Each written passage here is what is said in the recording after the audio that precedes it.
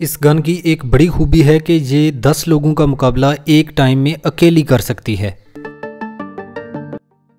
अगर इसकी लुक देखें तो इसकी जो लुक है वो बिल्कुल क्लैशन कोफ राइफल जैसी है, लेकिन ये क्लैशन कोफ नहीं है, बल्कि रिपीटर 12 बोर है।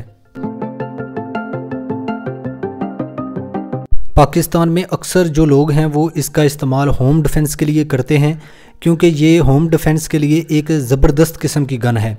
पाकिस्तान में डेरेदारी का निज़ाम चलता है। यहाँ पे लोग जो है वो अपने डेरों की हिफाजत के लिए बारह बोर की जो ये रिपीटर गन है, इसको इस्तेमाल करते हैं।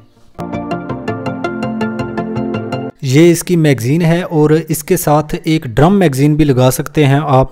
इसमें 12 बोर का करतूस इस्तेमाल होता है। इसमें ब्रेस्ट का ऑप्शन भी है, सिंगल का, और इस गन को यहाँ से आप लॉक भी कर सकते हैं।